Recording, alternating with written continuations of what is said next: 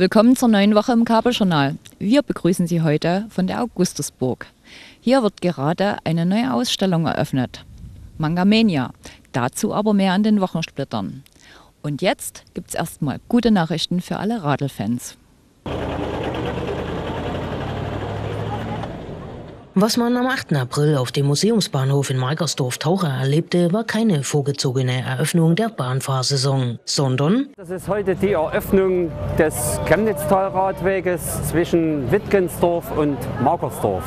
ein Ereignis, das tatsächlich Menschenmassen anzog. Viele mit, aber auch nicht wenige ohne Rad. Wir haben hier die Einwohner des Chemnitztals eingeladen, die sich schon alle sehr auf diesen heutigen Tag gefreut haben. Und wir sind hier zusammengekommen, gekommen, um dieses freudige Ereignis gebührend auch zu feiern. Das tat man mit viel Prominenz. So fehlte der Hochradfahrer Helmut Arnold aus Penig nicht, der erfolgreich an internationalen Hochradrennen teilnimmt. Zur Radwegeröffnung am 8. April durften Interessierte sein Sportgerät ausprobieren. Internationale Wettkampfluft schnupperte auf andere Weise Alfons Kindermann, der Mechaniker des einstigen DDR-Friedensfahrtteams. In Sachen Radsport erlebte man noch anderes. Die Bike-Trail-Gruppe aus Klausnitz und Diedensdorf zeigte, wie Radsport noch aussehen kann. Von 10 Uhr morgens an herrschte Hochbetrieb am Museumsbahnhof. Die Radfahrer testeten selbstverständlich allesamt die neu eröffnete Radwegstrecke, deren Planungsgeschichte schon vor vielen Jahren begann. Die ersten Ideen wurden bereits im Jahr 2002 entwickelt und es hat sehr lange gedauert, bis wir dann Finanzierungsmöglichkeiten und den Bau, auch die Fragen der Planfeststellung geklärt hatten. Der Baubeginn war dann für diesen Teilabschnitt im Jahr 2015 und wurde jetzt erstmal mit der Strecke soweit abgeschlossen. Es fehlt noch die Ortsanbindung in Auerswalde. Dort laufen noch die Bauarbeiten und wir denken, dass wir dann bis nächstes Jahr diese auch fertiggestellt haben. Der jetzt fertiggestellte 5,7 Kilometer lange Abschnitt, der größtenteils auf der ehemaligen Chemnitztal-Bahnstrecke verläuft, wurde vom Freistaat Sachsen finanziert. Und das Landesamt für Straßenbau und Verkehr ist der Bauherr. Wir haben dafür eine Regelung gefunden, dass wir einen Vertrag geschlossen haben, dass das Landesamt für Straßenbau und Verkehr plant, baut, finanziert und nach Fertigstellung den Radweg an den Zweckverband Chemnitztal Radweg übergibt. Wir hatten die Aufgabe, die Grundstücksfragen zu klären und die entsprechenden Grundstücke zu erwerben und die Baufreiheit auch herzustellen. Der Zweckverband Chemnitztal-Radweg Das sind sechs Städte und Gemeinden in unserem Chemnitztal. Das sind zwei Städte, die Städte Burgstedt und Lunzenau und die Gemeinden Lichtenau, Taura, Klausnitz und Königshain-Wiederau. Mit dem Radwegprojekt Chemnitztal geht es weiter. Der Zweckverband durfte sich 2016 über einen Förderbescheid in Höhe von 2,3 Millionen Euro für den Neubau des 2,2 Kilometer langen Radweges von Markersdorf nach Dietensdorf freuen. Da ist die erste Brücke fertiggestellt und die nächsten Baulose sind in der Ausschreibung. Wir wollen versuchen, bis zum Jahr 2019, bis zum nächsten Ort, den Radweg weiterzubauen. Und die Vorplanungen laufen jetzt weiter bis zum Bahnhof in, Göretsheim. Der Radwegneubau im Chemnitztal kommt gut an, wie man zur Eröffnung der Strecke zwischen Wittgensdorf und Markersdorf erleben durfte. Es herrschte reger Betrieb auf der Strecke. Ich denke ganz besonders an die Einwohner der Großstadt Chemnitz, die jetzt eine gute Möglichkeit haben, mit ihren Familien einen Radweg zu benutzen, ohne große Steigungen. Ich denke, das kann jeder absolvieren und natürlich in eine wunderschöne Gegend hier zu radeln. Wir haben es heute in Augenschein genommen. Ich denke, da ist nicht zu viel versprochen. Das ist ein wirkliches Kleinod, das Chemnitztal, und das wird die Besucher auch anziehen. Zur Feier des Tages gab es an der Strecke verschiedene Haltepunkte. Ich stehe zurzeit in Kettensdorf, ja, auf dem Radweg, bei einer Flasche Selterwasser und einer Bockwurst zur Stärkung. Seine Maus war ebenfalls dabei. Auch viele andere nutzten die Möglichkeit, eine Rast einzulegen.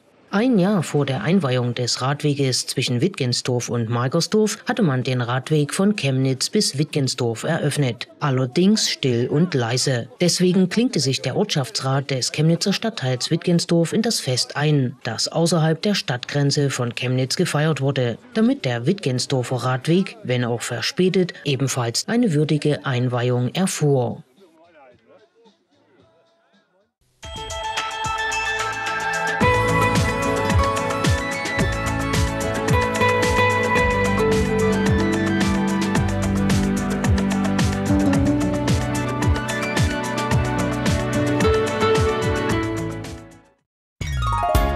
Willkommen zur großen Osterschau in Gelenau vom 24. März bis zum 30. April. Bestaunen Sie eine einzigartige Sammlung von 1500 Schmuck- und Künstlereiern und schauen Sie den Künstlern bei der Arbeit zu. Am Osterbrunnen erwartet Sie ein bezauberndes Arrangement von Kinderfahrzeugen, Puppen und Teddybären. Zum Verweilen lädt das Café im Spielzeugdorf ein. Wir freuen uns auf Ihren Besuch, immer Freitag bis Sonntag von 10 bis 18 Uhr. Mehr Info unter lopesa.de.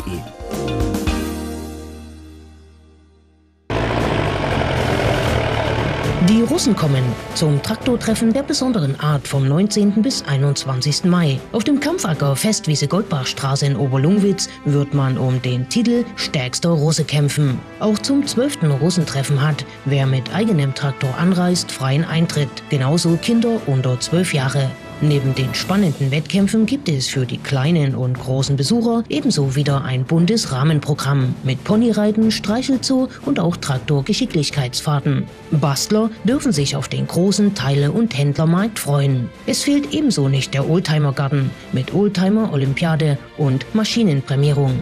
Im Festzelt gibt es Samstagabend Tanz mit einer Liveband. Ein Höhepunkt ist die Traktorenrundfahrt auf dem Sachsenring. Zwölftes Russentreffen vom 19. bis 21. Mai. Festwiese Goldbachstraße in Oberlungwitz.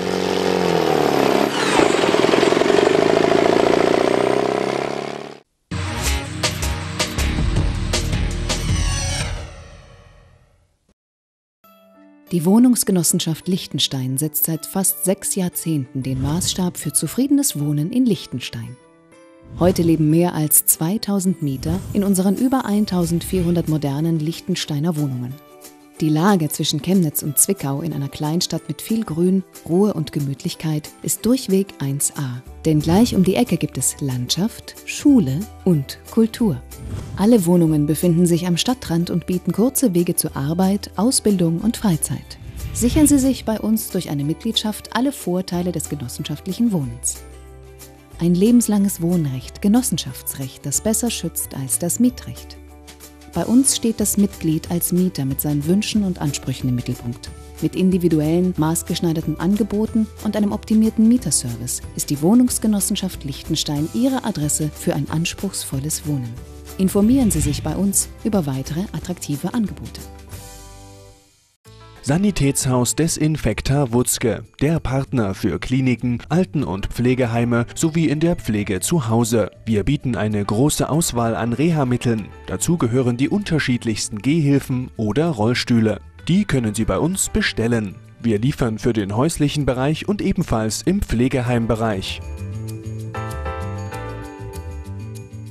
Unser Team verstärkt der Orthopädie-Mechanikermeister Christian Lange. Wir sind in der Lage, die Reha-Mittel an Ihre individuellen Bedürfnisse anzupassen und gegebenenfalls Reparaturen durchzuführen. Zu unserem Leistungsspektrum gehören ebenso Inkontinenzprodukte, Stoma- und Wundversorgung sowie Pflege- und Desinfektionsmittel. Bei uns erhalten Sie Standard-Kompressionsstrümpfe auch weiterhin ohne Eigenanteil. Wir sind anerkannter Partner der Krankenkassen und nach DIN ISO 9001 zertifiziert. Dadurch garantieren wir unseren Patienten einwandfreien Service und kompetente Beratung durch unser Fachpersonal. Sanitätshaus Desinfekta Wutzke, der zuverlässige Partner für Ihre Gesundheit.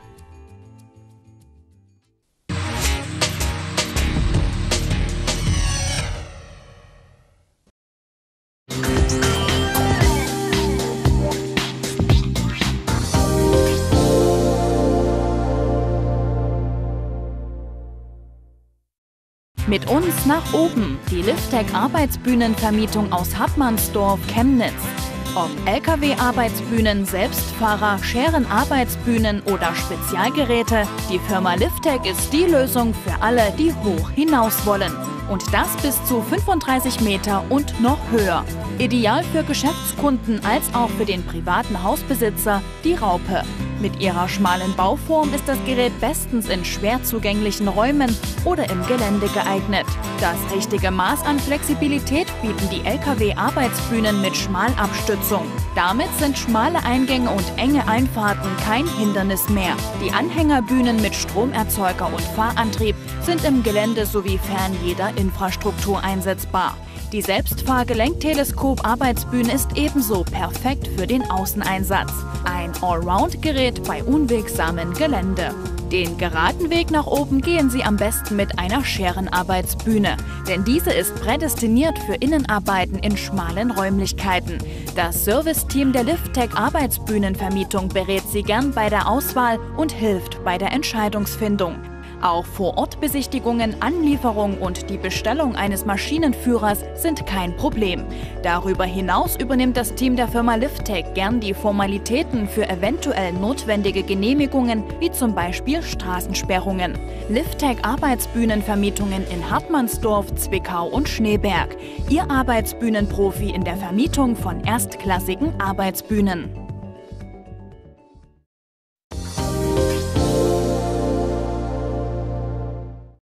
Wie Sie sehen, stehe ich jetzt hier schon mitten in der Mangamania-Ausstellung. Ein Beitrag darüber und was sonst noch so los war, sehen Sie jetzt in den Wochensplittern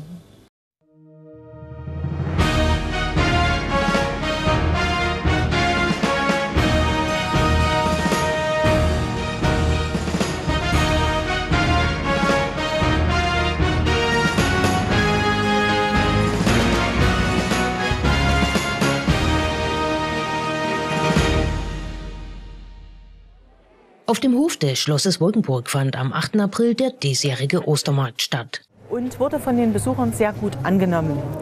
Von früh um 10 bis jetzt, fast vor 16 Uhr, haben wir einen städtischen Besucherstrom zu verzeichnen. Auch schon in den vergangenen Jahren war der Ostermarkt auf dem Schloss ein großer Anziehungspunkt. Diesmal gab es mit UDI Events einen neuen Veranstalter. Wir haben diesmal ausschließlich auf dem Schlosshof die Stände aufgebaut und einen bunten Mix aus frischem Markt, aus Direktvermarktern und mit Kunsthandwerkern besetzt. Die Händler kamen aus dem näheren Umland, aus dem Erzgebirge und einige aus der Leipziger Ecke. Besonders gefreut hat mich, dass wir auch wieder Limbacher, auf der, also Limbacher Händler und Direktvermarkter auf dem äh, Markt begrüßen konnten, unter anderem die Limbacher Teichwirtschaft, die das erste Mal auf dem Ostermarkt vertreten ist und als traditioneller Händler die Keramikwerkstatt Kühn aus dem Ortsteil Kaufungen, also ein Lokalmatador sozusagen. Neben der Möglichkeit zum Einkaufsbummel gab es ebenso viele zum Schlemmen. Der Kartoffelpuffer hier vorne, ausgezeichnet hier, wunderbar hier. Die Anlage schön hier, schön windstill hier, kein Regen, besser kann es nicht sein. Einmalig hier. Um die Besucher zum längeren Verweilen zu bewegen, fehlt es ebenfalls nicht an Unterhaltung.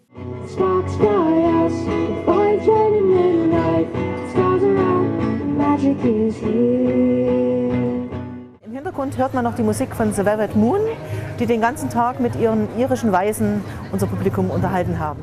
Da Ostern vor der Tür stand, konnte man jede Menge Österliches auf dem Markt entdecken. Zum Beispiel Ostereier-Verzierungsmöglichkeiten. Auch die kleinen Besucher waren eingeladen, sich gestalterisch auszuprobieren. Kinderprogramm haben wir diesmal auch auf dem Ostermarkt gehabt.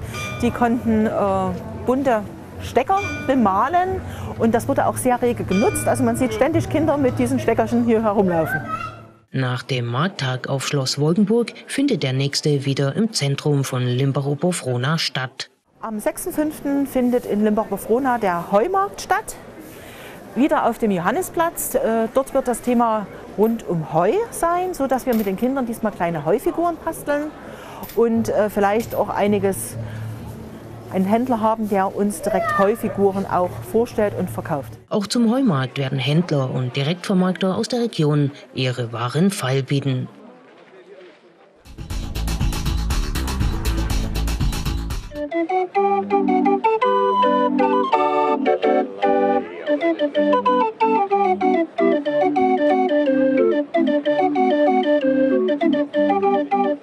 Hohenstein-Ernsthal blüht auf. Der passende Slogan für das Frühlingsfest am 9. April in der Kamai Geburtsstadt. 12 Uhr startete das mit der Eröffnung des Bauernmarktes auf dem Altmarkt. Lange brauchten die Händler nicht warten, bis die ersten Einkaufsbummler eintrafen. Viele bummelten über den Markt, um hier und da zu schlemmen. Andere waren auf der Suche nach Kleinigkeiten für das Osterfest. An Geschenkideen für die Osternester mangelte es nicht. Betrieb herrschte ebenso reichlich auf der Dresdner und auf der Weinkellerstraße. Die Geschäfte hatten 13 Uhr ihre Türen geöffnet. Aufgrund des schönen Frühlingswetters konnten viele vorbereitete Aktionen auf der Straße stattfinden.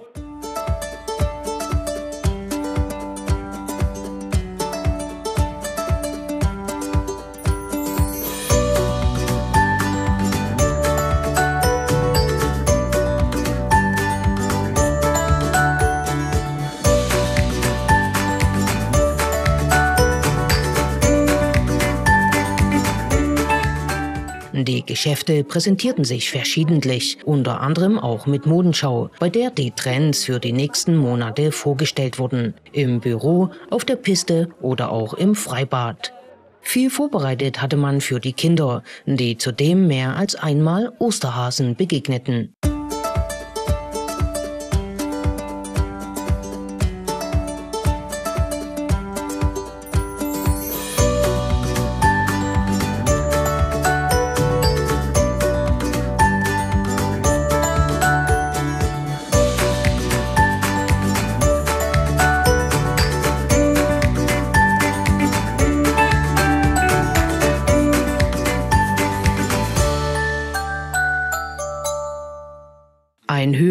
War die Ostereiersuche im Stadtgarten. Die wurde musikalisch eröffnet von den Bernsdorfer Piccolos.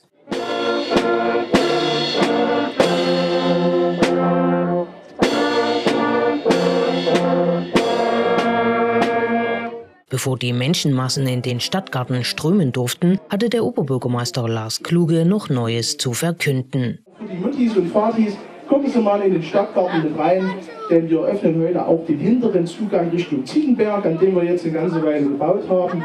Unser Stadtgarten hat jetzt also einen neuen Ausgang, sodass er im Prinzip auch vom Ziegenberg erreicht werden kann. Und ich glaube, das Ganze wird dadurch auch noch deutlich aufgewertet. So, jetzt frage ich äh, den Jürgen Esche, kann es losgehen? Sie geben bestimmt den Startschuss, ne? Okay, also dann, ich mache nochmal ein Lucky Lucky. Können wir losmachen? Also dann, dann wollen wir das mal eröffnen, jetzt hier. Dort hinten in der zweiten Reihe, jetzt ist das Mikro fast aus, in der zweiten Reihe stehen sogar die Osterhasen, also ihr seid eher wie die Osterhasen drin, das kann ja irgendwo nicht sein, na, aber euch wird's warm, na, ihr wollt raus. Also dann, dann wollen wir mal hier die Sache eröffnen. Viel Spaß!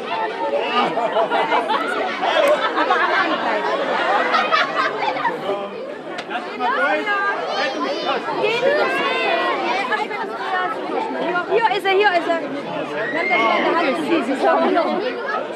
Bei den Menschenmassen konnte man sicher sein, dass im Stadtgarten tatsächlich jeder Grashalm umgedreht wurde, um neben einfachen Eiern auch das goldene Ei zu finden. Seltsamerweise dauerte das.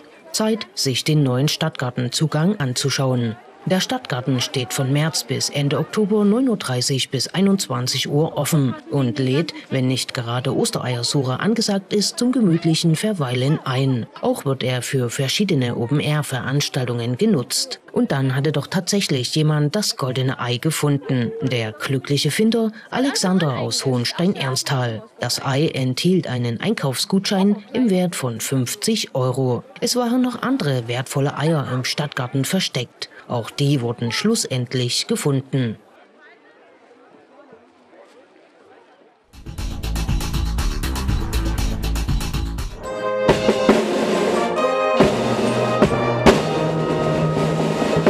Wie für andere Orchester heißt es derzeit ebenso für das Jugendblasorchester Bernsdorf, sich intensiv vorzubereiten.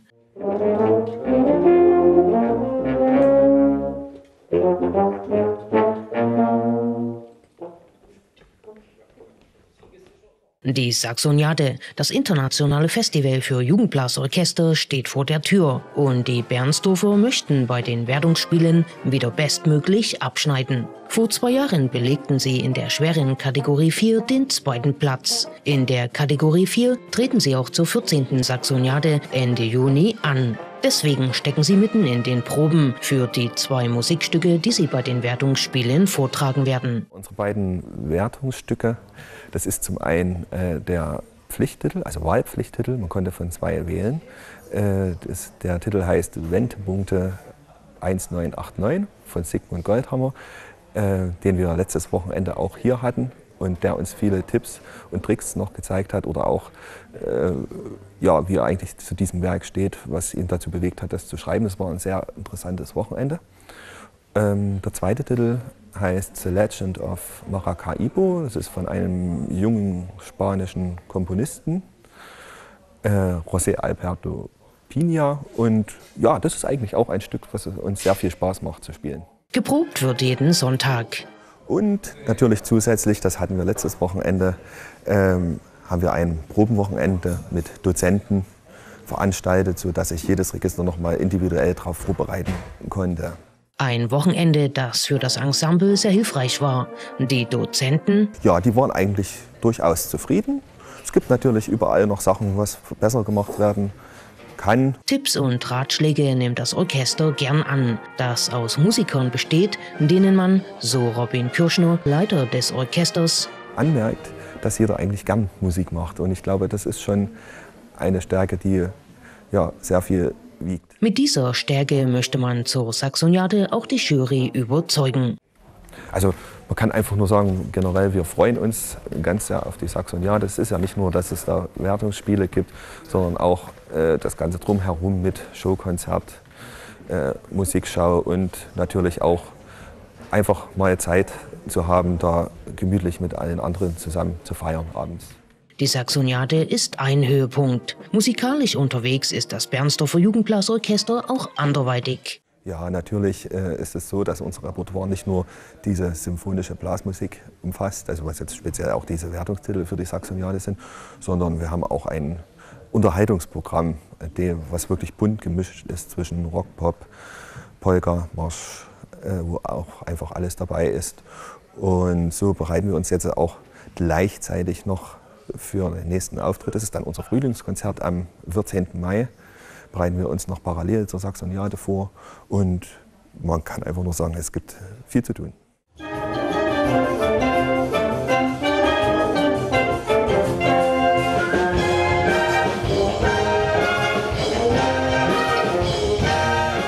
Das Jugendblasorchester ist nicht das einzige Orchester, das Bernsdorf zu bieten hat.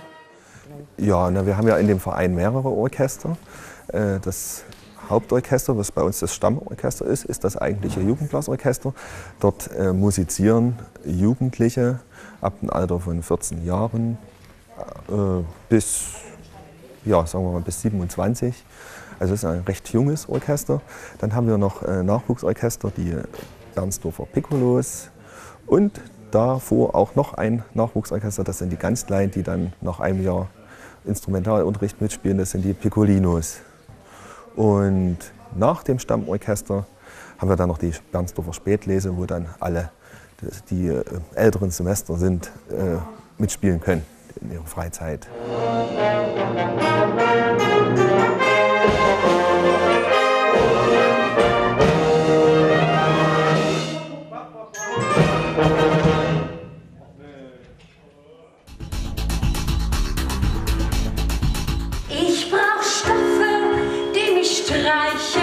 Auf die jungen Sängerinnen kommen wir später noch zurück, aber beim Thema Stoffe bleiben wir. Von 1910 bis 1990 wurden in der Weberei Tannenhauer in Braunsdorf Textilien hergestellt. Heute ist die Produktionsstätte ein technisches Museum. Die meisten der hier gezeigten mechanischen Webstühle sind noch voll funktionsfähig. Einige davon waren am 9. April in Aktion zu erleben. Da hatte man zum Tag des offenen Hauses eingeladen. Der Tag des offenen Hauses, das ist sozusagen die erste größere Veranstaltung in diesem Jahr. Wir haben zwei Führungen durchgeführt, zwei öffentliche Führungen. Eine Führung 11 Uhr, eine 14 Uhr. Zu beiden Führungen waren über 100 Gäste anwesend. Das zeigt ja auch das große Interesse an unserem Haus, an dieser Industriekultur, an alter Webtechnik. Ja, und das ist natürlich für uns ein sehr gutes Ergebnis und wir freuen uns über diese vielen Besucher hier in unserem Haus. Das Haus ist aber nicht nur Museum. Die Kammern Gobelong Manufaktur, ein ehemals Chemnitzer Traditionsunternehmen, hat hier eine neue Heimat gefunden. Im Kundenauftrag werden auf alten Webstühlen Stoffe hergestellt, die vor allem bei Polsterern und Raumausstattern sehr geschätzt sind. Zur Designauswahl kann man auf zahlreiche historische Vorlagen zurückgreifen. Wir haben einen kleinen Schatz bei uns, die Musterbücher von Anfang an bis äh, zum Schluss der Fertigung wurde immer dann, wenn ein Gewebe fertig war und optisch vernünftig umgearbeitet worden ist, wurde das dokumentiert in den sogenannten Musterbüchern. Da kann man in so einem Musterbuch dann erkennen, bestimmte Dinge können wir heute nicht mehr fertigen, bestimmte Dinge können wir fertigen. Und das sieht man bei so einem Muster, die 7899 im Musterbuch dokumentiert, kommt aus der Webmaschine kommt aus der Webmaschine so heraus und wird zum Schluss durch uns auch noch koloriert. Und hier kann man kontrollieren, dass was wir heute fertigen, stimmt das mit dem, was man früher gefertigt hat, noch überein? Oder wo kann man Veränderungen vornehmen? Das ist so ein bisschen der, das, das Gehirn, das Archiv der Firma Kammern. Seit 2014 gesellt sich in der Schauweberei zur Technik auch die Kunst. In wechselnden Sonderausstellungen zeigt die Galerie Inselsteig Arbeiten von Künstlern aus der Region. Und bald könnte es noch mehr Kultur im Haus geben. Der Eigentümer der Immobilie hat nämlich im ehemaligen Garnlager einen Veranstaltungsraum geschaffen. Dieser Raum soll als großer Saal vermietet werden für Veranstaltungen und Feste aller Art. Mit dem Museum zusammen, in Kooperation mit dem Museum, aber auch eigenständig, je nachdem, wie die Nutzer das haben wollen. Und das Ganze wird vermutlich zum Juli etwa ganz fertig werden, also mit dem Boden, der noch fehlt und den Heizkörpern, die noch fehlen, der Beleuchtung und ein bisschen Anstrich der Decken. Und dann gibt es im Anschluss da drunten an der Südseite da unten noch die Gewölbestube. Das ist ein Raum mit einem schönen Kreuzgewölbe, das äh, für kleinere Veranstaltungen, kleinere Familienfeiern oder sowas geeignet ist. In der Gemeinde freut man sich über so viel privates Engagement. Ja, wir sind auf alle Fälle froh, dass der Herr Ferger diese Eigeninitiative ergriffen hat und natürlich als Privatier so viel Geld in die Hand genommen hat, um das Kleinod jetzt wieder da herzustellen, dass man auch Veranstaltungen machen kann. Wir als in der Wiese haben keinen großen Saal und inwieweit das dann mal später genutzt werden kann, müssen wir uns mit Herrn Ferger absprechen. Wir werden dann sehen, was daraus wird. Auf alle Fälle ist heute schon mal die Premiere. Wir werden mal sehen, wie das angenommen wird. Und natürlich mit den Darstellern, die heute da sind, ist es schon mal ein Bonbon als Eröffnung. Und damit wären wir wieder bei den Sängerinnen und Sängern vom Anfang unseres Beitrages. Das Studio WM aus Chemnitz gestaltete mit einer Musical-Show den Höhepunkt und Abschluss beim Tag des offenen Hauses in der historischen Schauweberei Braunsdorf.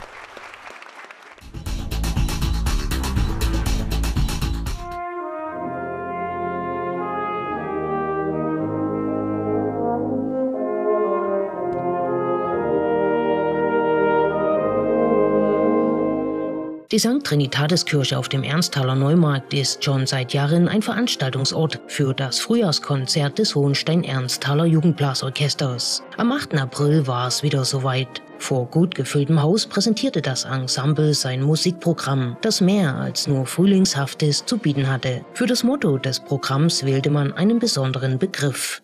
Der Begriff soll bildlich ausdrücken, dass die Musik wie ein Wurm in den Gehörgang hineinkriecht und dort bleibt. Und so lautet der Titel unseres heutigen Konzertes Ohrwürmer, zu dem wir Sie recht herzlich begrüßen.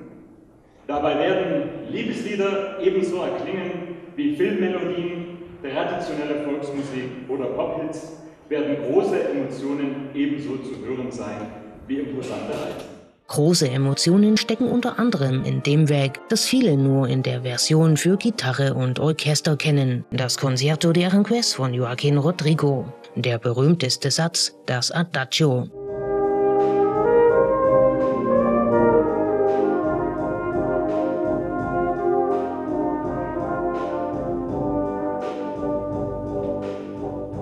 Die bearbeitete Version für Blasorchester, die das Hohenstein-Ernsthaler Jugendblasorchester in der Trinitatiskirche erklingen ließ, geht nicht minder unter die Haut.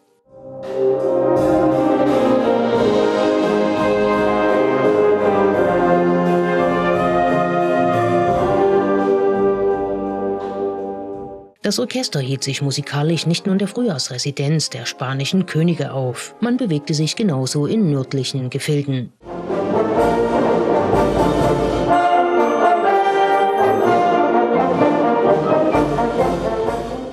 Das Jugendblasorchester Hohenstein-Ernsthal nimmt auch in diesem Jahr an der Saxoniade, dem internationalen Festival für Jugendblasorchester, teil.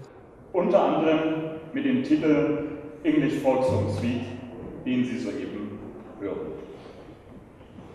Das zweite Werbungsstück kennen vielleicht einige unserer Stammzuhörer bereits. Auch hier geht es sozusagen ein Stück weit um Getränke. Tullamore ist ein kleines Dorf in Irland, einem Land, das an wunderschöne Landschaften, irische Folkmusik und eben guten Whisky denken lässt. Der Komponist Carl Whitrock lässt uns in seiner abwechslungsreichen Komposition Lord Tullamore an seinem persönlichen Blick auf die irische Folkmusik teilhaben. Bei der letzten Saxoniade 2015 belegte das Orchester in der mittelschweren Kategorie 3 den ersten Platz. Zur 14. Saxoniade, die vom 22. bis 25. Juni stattfindet, tritt das Hohenstein-Ernsthaler Orchester unter der Leitung von Sören Hofmann in der schweren Kategorie 4 an.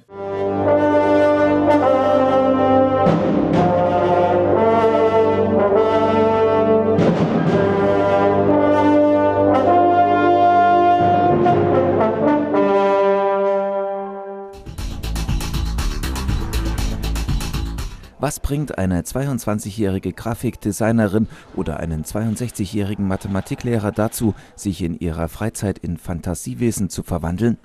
Es ist die Faszination für Mangas, Comic-Geschichten, die von Japan aus die Welt eroberten und zunehmend als Kulturgut und Kunstrichtung anerkannt werden. Diesen Bildergeschichten widmet sich nun eine Sonderausstellung auf Schloss Augustusburg, die am 13. April eröffnet wurde.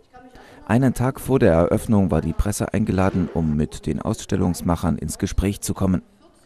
Alte japanische Holzschnitte, die sich in der Sammlung des Museums befinden und als Vorgänger der heutigen Mangas gelten, brachten Schlosschefin Patricia Mein auf die Idee zu dieser Sonderschau. Das ist ja für mich immer ein ganz großes Anliegen, dass wir kulturelle Bildung, Wissen und Historie miteinander verbinden.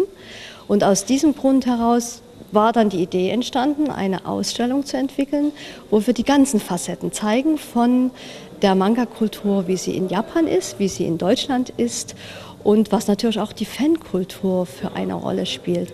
Ja, und entstanden ist eine interaktive Familienausstellung, die ganz viel zum Mitmachen einlädt, über 200 Exponate hat mit internationalen Leihgaben aus Japan, aus der Slowakei, aus Deutschland, aus Österreich. Und da findet, glaube ich, jede Familie etwas. Also was wirklich eine absolute Herausforderung war, diesen Bogen zu schlagen. Über die Geschichte, über die schlosseigenen Manga-Bilder, über die Edo-Bilder, dann natürlich über die Vielseitigkeit von den 1950 bis in das Jahr 2017 und natürlich auch diese unterschiedlichen Games, die wir eingesetzt haben, aber natürlich auch überall dort, wo letztendlich unsere Besucher mitmachen und mitgestalten können. Für Cosplayer wie Mathelehrer Rudolf Arnold und Grafikdesignerin Maria Dick ist es ein Hobby, wenn sie in die selbstgefertigten Kostüme ihrer Comichelden steigen. Inga Steinmetz hat die Comicgeschichten zum Beruf gemacht. Die Zeichnerin aus Berlin gehört zu den Wegbereitern der deutschen Mangas. Wenn man Manga-Zeichner ist, äh, ist man ein ganz normaler Arbeiter, sage ich jetzt mal. Also im äh, weitesten Sinne auch Dienstleister. Das heißt, man hat einen straffen Zeitplan, man hat Deadlines, die eingehalten werden müssen, weil man eben nicht nur für sich selbst arbeitet, sondern für einen Verlag. Der Verlag muss wirtschaftlich arbeiten, sage ich jetzt mal. Und da kann man dann halt nicht morgens sagen, ach, ich habe heute keine Lust, sondern wenn die Deadline drückt, dann muss man wirklich jeden Tag teilweise bis zu zehn oder noch mehr Stunden ackern. Der ähm, schöne Teil daran ist dann, nachdem man nach sieben Monaten dann endlich mal wieder Sonnenlicht sieht, dass man dann zum Beispiel auf Messen eingeladen wird oder Conventions, wo man dann die Fans trifft und das ist quasi so ein bisschen die Belohnung für diese harte Arbeit. Inga Steinmetz ist ein ganzer Raum in der Ausstellung gewidmet. Sie zeichnet ihre Bildergeschichten meist für Kinder und Teenager. In der über 18 Abteilung sind aber auch einige ihrer Arbeiten zu finden. Wer einige Protagonisten der Manga-Szene kennenlernen will, hat am Ostersamstag dazu Gelegenheit. Die Ausstellung Manga Mania, große Augen garantiert, ist bis zum 10. Dezember auf Schloss Augustusburg zu sehen. Die grüne Hölle auf dem Pfaffenberg gehörte am 8. April den Frühaufstehern. Um 9 Uhr startete hier das Freizeitturnier der Badmintonabteilung vom SV Sachsenring. Wir veranstalten das 21. Turnier für Freizeitsportler mittlerweile hier in der Pfaffenberg-Turnhalle traditionell. Mario Meyer als Abteilungsleiter ist hier federführend, heute auch ganz wichtig vorne am Pult für die ganze Organisation und daher äh, übernehme ich heute mal den Part der Bekanntgabe. Ähm, es ist immer ein sehr interessantes Turnier, heute auch mit internationaler Beteiligung, immer recht rege Besuch besucht heute wieder über 50 Teilnehmer. Die Thailänder und Inder, die in Chemnitz studieren, beteiligten sich neben den Freizeit- und Hobbyspielern aus der Region an dem Turnier. Region ist in diesem Fall sehr weit gefasst, denn es waren Sportler aus Marienberg sowie aus dem vogtländischen Falkenstein zu Gast. Viele sind das schon seit Jahren. In den letzten 20 Jahren hat sich natürlich die Teilnehmerzahl gefestigt. Äh, wir hatten auch schon Rekordzeiten mit über 90 Leuten. Da ging es von früh um 9 bis tatsächlich abends um 8. Das war natürlich auch eine sehr große Herausforderung für alle Organisationen und Teilnehmer. Anfangs wurden noch Wettkämpfe im Einzel durchgeführt. Später ist man aufgrund des organisatorischen Aufwands übergegangen, nur noch Sieger im Mix sowie im Damen- und Herrendoppel zu ermitteln. Das Freizeitturnier bietet den Mitgliedern der Badmintonabteilung vom SV Sachsenring die Möglichkeit, sich mit anderen Spielern im Wettbewerb zu messen. Derzeit sind die Hohenstein-Ernsthaler nicht in den Ligen vertreten. Es hängt einfach daran, dass wir eben zu wenig Personal haben für die Trainer, die das Ganze auch am Wochenende noch abstemmen. Es gab allerdings bereits schon einen Ligenbetrieb mit Kindern. Äh, wir hoffen, dass natürlich da auch wieder engagierte Sportler und interessierte Eltern vielleicht mit daran teilnehmen, damit wieder ein Ligenbetrieb aufrechterhalten werden kann. Auch wenn die Badminton-Abteilung keine Punktspiele bestreitet, so ist sie dennoch eine wichtige Abteilung für den SV Sachsenring. Genauso wie alle anderen Abteilungen, wir werden keine höher oder gleicher stellen. Dennoch ist es ein wichtiger Sport, der eben auch für Freizeitsportler ähm, eine große wichtige Anlaufstelle ist und der Wettkampfsport nicht ganz so vorne dran steht. Wie bereits erwähnt, werden Mitstreiter gesucht. Infos zu den Ansprechpartnern und Trainingszeiten erhält man unter www.svsachsenring.de.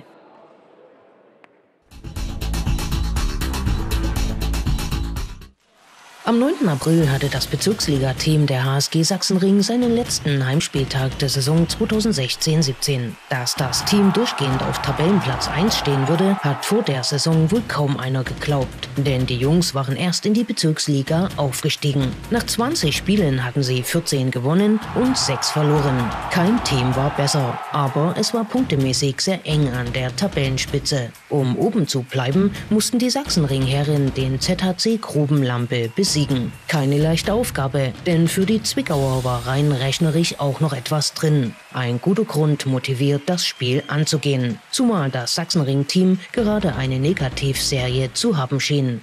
Ja, wir haben unseren besten Mann, unser Kapitän, den haben wir mit einem Kreuzbandriss verloren. Und das war schon ein Riss in, in, in der Mannschaft gewesen. Ne? Das ist der beste Spieler, der die Mannschaft zusammenhält. Und da ist normal, ganz normal ein Riss reingekommen. Wir hatten jetzt auch zwei Niederlagen hintereinander gehabt im Pokal-Halbfinale. Äh, und in Frau Reuth haben wir verloren. Aber wir wussten, oder ich wusste, dass die Truppe sich zusammenreißen kann, dass das was werden kann. Kapitän Mark Bohn verfolgte das Spiel vom Zuschauerrang aus. Seine Mannschaft hatte sich vorgenommen, dass wir alles rausholen wollen und so wie Anfang der Saison spielen wollen. Das sprich, den Sieg über eine stabile Abwehr, wo mit voll gefeitet wird, uns darüber die Sicherheit holen und dann vorne natürlich unsere Tore zu machen. Das Konzept schien aufzugehen. Die Gastgeber übernahmen die Führung, wenn gleich in der ersten Halbzeit Zwickau gut dagegen hielt und den Abstand nicht zu groß werden ließ. Die Sachsenringherren waren an diesem Spieltag bestens drauf. Es wurden Bälle ohne Mühe über die Abwehr hinweg im Tor versenkt. Dazu wurde jede erdenkliche Lücke gesucht, gefunden und genutzt. Wir haben vorne schnell gespielt, sind durch Konter, durch die zweite Welle zu vielen einfachen Toren gekommen und haben damit die Mannschaft von Zwickau unter Druck gesetzt. Ja. Das heißt, sie sind nicht so konditionsstark, eine zweite Mannschaft und das haben wir zu unseren Gunsten absolut äh, ausgespielt. Ja. Nach der ersten Halbzeit stand es 14 zu 9 für die Gastgeber. Wie schnell sich im Handball das Blatt wenden kann, weiß man. Die Sachsenringherren machten jedoch deutlich, dass sie sich das Spiel nicht aus der Hand nehmen lassen wollten. Verlass war dabei auch auf die zwei Torhüter Martin Rottloff und Hubert Viehweg. Während das Sachsenring-Team hochkonzentriert alles daran setzte, siegreich das Spiel zu beenden, schienen die Zwickauer den Faden verloren zu haben. Und so fiel Tor und Tor für die Gastgeber. Viele wunderschön anzuschauen. Und das eine oder andere sogar recht kurios. Unsere Stärke ist, dass wir über eine richtig starke Abwehr, wo wir uns motivieren, jeden Gegner in der Klasse schwer machen können. Und darüber kommen wir in Angriff in unser Spiel. Und das haben wir heute richtig gut umgesetzt. Ja, also es war ein schnelles Spiel, Ball laufen lassen, so wie wir es wollen. Und das haben wir sehr, sehr gut gemacht. Auch in der Situation, wo wir in der Manndeckung genommen worden sind, weil wir auch verschiedene Spielertypen haben. So konnten wir durchwechseln, haben die schnellen Spieler dann gebracht, die das sehr, sehr gut gelöst hatte. Ja, also wir hatten Zwickau heute keine Chance heute. Am Ende gewann die HSG Sachsenring verdient 28 zu 18 das letzte Heimspiel. Das war eine Mannschaftsleistung und die Truppe will jetzt auch aufsteigen. Ne? Also das war die Voraussetzung. Ich habe sie gerade noch mal gefragt, ich soll es sagen. Und ja, die will jetzt aufsteigen. Das letzte Spiel. Wir haben ja als Aufsteiger, das muss man ja mal sehen, Ja, richtig, von Anfang bis zum Ende immer an der Tabellenspitze gestanden. Immer. Ja, immer, ja. Ne, wo die Tabelle dann bereinigt war. Wir haben dann einen Spieltag später angefangen. Wir haben ja immer geführt. Und das wollen wir uns jetzt natürlich am letzten Spieltag nicht von der Butter, wie heißt man, die Butter vom Brot nehmen lassen. Ne? Das wäre ein bisschen schade. Das Sachsenring-Team ist sich sicher, dass das letzte Saisonspiel gegen Öderan nicht einfach werden wird. Öderan ist eine Mannschaft, die ist abgestiegen. Die hat gestern unentschieden in Niederwieser gespielt. Die haben nicht mehr zu verlieren. Ne?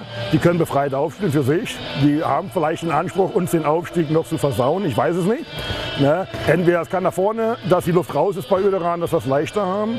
Oder dass sie sagen, wir wollen uns noch mal richtig gut aus der Bezirksliga verabschieden. Und für uns ist natürlich ein gewisser Druck da. Ne? Das ist klar. Wir müssen dort gewinnen, um aufzusteigen. Ne? Und wir haben uns einen Punkt Vorsprung und wir können uns keine Niederlage leisten. Also ist ein gewisser Druck da, aber mit der Leistung heute denke ich, dass wir das lösen werden. Bin ich fester Überzeugung. Und wer nicht spurt, der bekommt eine extra Portion Liegestütze aufgebrummt.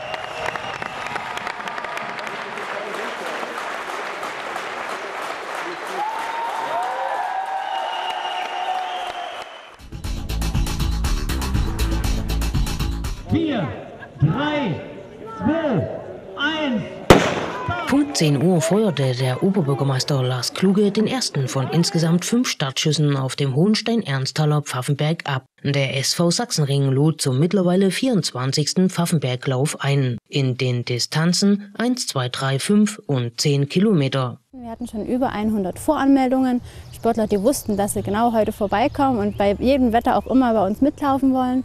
Dann haben wir heute noch 50 Nachmeldungen gehabt und freuen uns, dass 150 Sportler heute hier auf Pfaffenberg sich zusammengefunden haben und alles geben wollen und zeigen wollen, wie gut sie sind auf den langen Disziplinen. Die Läufer des gastgebenden und anderer Hohenstein-Ernsthaler Vereine waren stark vertreten. Genauso der Laufverein Limbach 2000. Auch viele Chemnitzer waren angereist, um sich auf den verschiedenen Distanzen mit anderen zu messen. Der Pfaffenberglauf findet auf einer landschaftlich schönen Strecke statt. Zeit und Muße, die zu genießen, haben sicher die wenigsten, denn das hügelige Auf und Ab ist kräftezerrend. Es gibt aber nicht wenige, die die Herausforderung Pfaffenberg mögen. Wir haben in unseren Anmeldungen Läufer mit dabei, die jetzt auch schon über 70 Jahre alt sind, ähm, die sozusagen die letzten 20 Jahre auch schon bei uns am Pfaffenberg teilgenommen haben, ähm, die auch jedes Jahr mit dabei sind, die wir auch alle schon kennen und sind bestimmt mindestens 10, 20 Leute dabei, die jedes Jahr kommen und die, wo wir auch schon wissen, dass die sich anmelden, definitiv.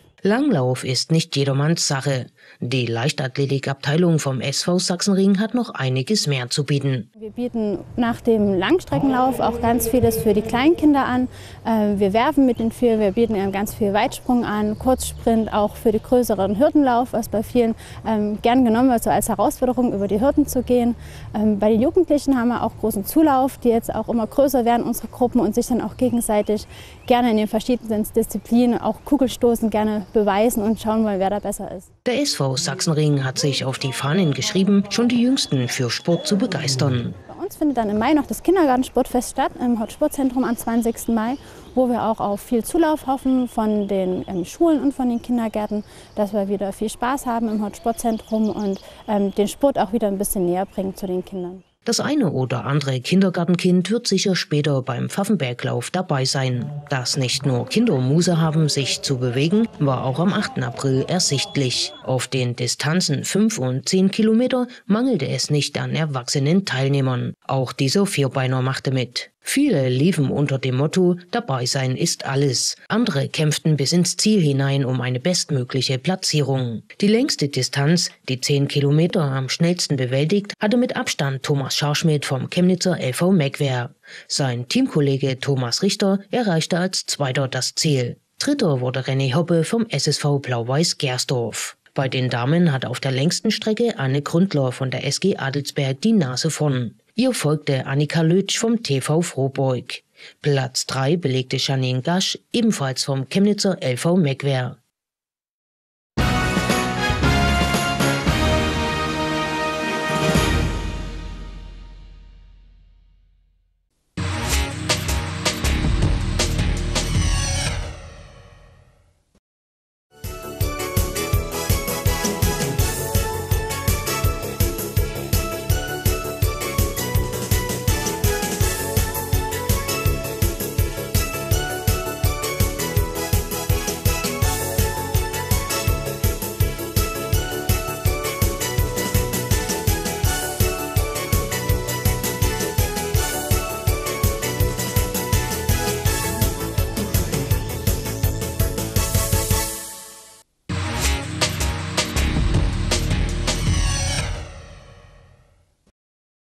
Und weiter geht's jetzt mit unserem Eduard Sachsenmeier. Und der hat sich Gedanken gemacht über autonomes Fahren. Ach, hallo. Ah, nee, was ist sicher, aber auch immer alles wieder aushecken. He? Hier, die äh, Autos ohne Fahrer. Äh, das ist doch eine Autos ohne Fahrer. Also, das ist doch eine Furzidee. Hm. Autos ohne Fahrer. Das ist ja wie eine Brille ohne Durchgucker. Nee, ein Auto ohne Fahrer ist doch völlig sinnlos. Also können Sie mir erzählen, was Sie wollen. Na? Es muss doch jemand da sein, der das Auto benutzen tut. Und bloß im Auto drinnen sitzen und aufpassen, was das Auto macht, da wirst du doch wahnsinnig, wenn du nicht eingreifen kannst. Äh?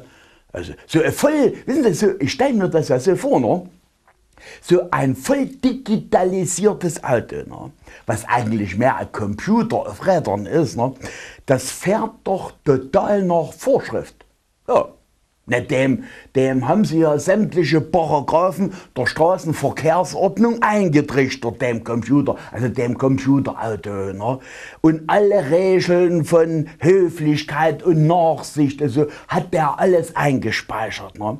Das Computerauto hält sich sogar in der 30er-Zone an die Geschwindigkeits ja, an die Geschwindigkeitsbeschränkung. Der Düdel, der mit 30 in der 30er-Zone lang, ne? also da wirst du doch wahnsinnig. Du. Oder auf der Autobahn immer noch der Vorschrift. Ja? Von wegen, von wegen mal, mal rechts überholen. Ne?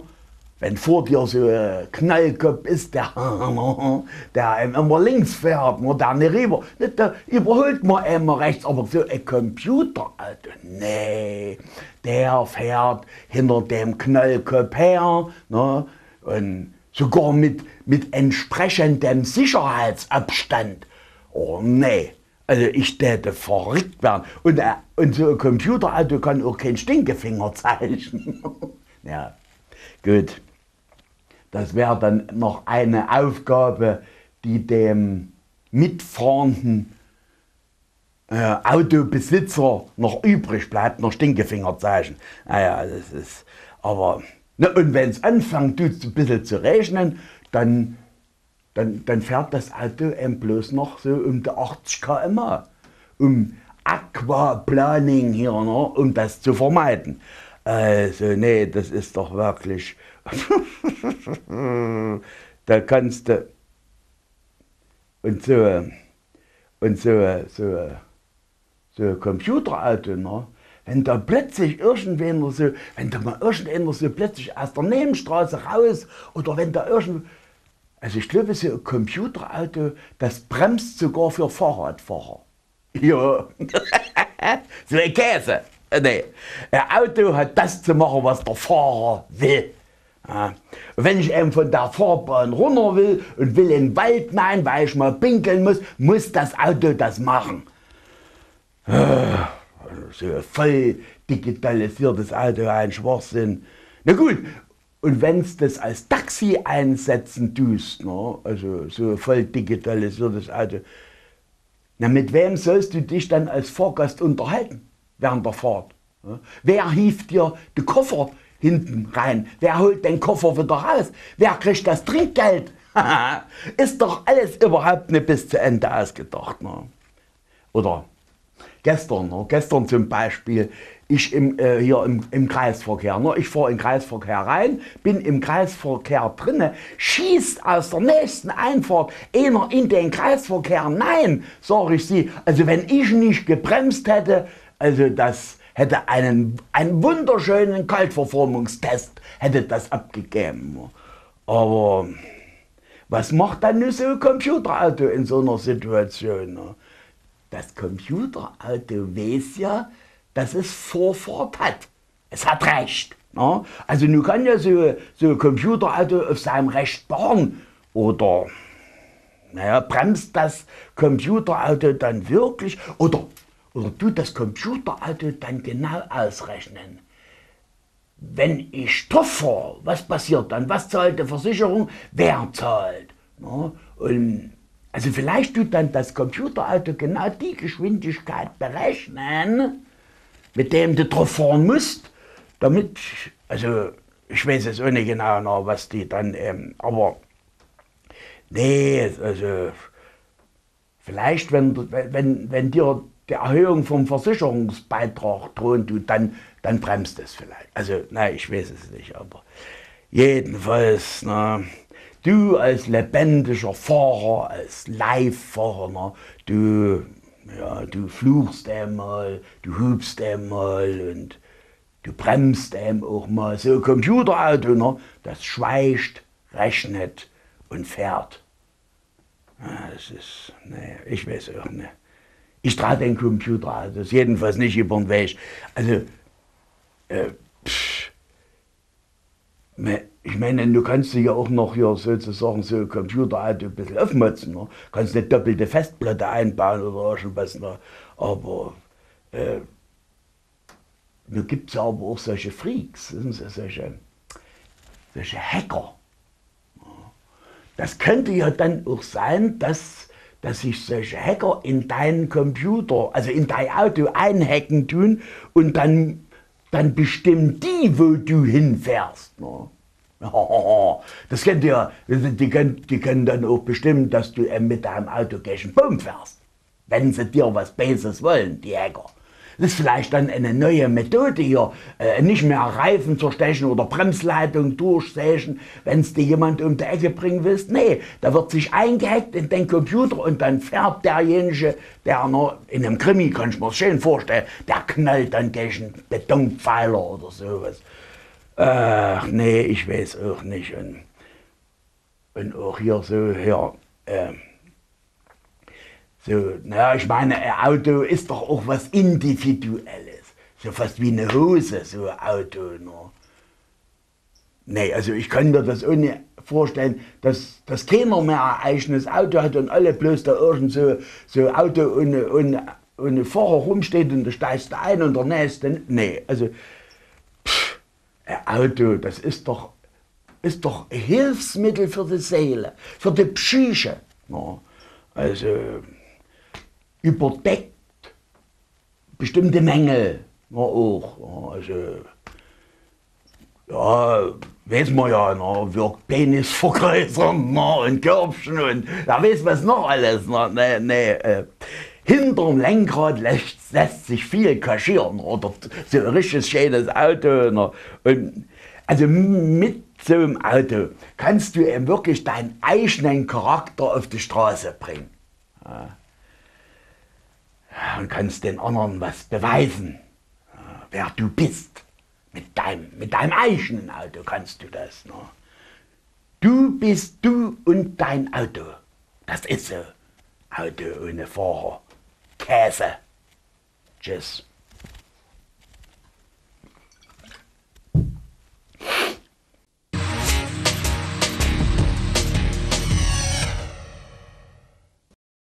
Sattkabel in Burgstedt ist der Spezialist für das schnelle und preiswerte Highspeed-Internet über Fernsehkabelnetz. Bei uns surfen Sie nicht nur mit Höchstgeschwindigkeit, sondern sichern Ihre Daten auf entfernten Servern, können Fernsteuerungen in Echtzeit durchführen und spielen mit einem Superping. Hinzu kommt das Telefonieren in bester Qualität bei kostenloser Rufnummernmitnahme und günstigen Minutenpreisen. Lassen Sie sich beraten zu unseren attraktiven Komplettangeboten. Entweder vor Ort im Ladengeschäft oder telefonisch unter 03724 666 535. Besuchen Sie unsere Website sat-kabel-online.de.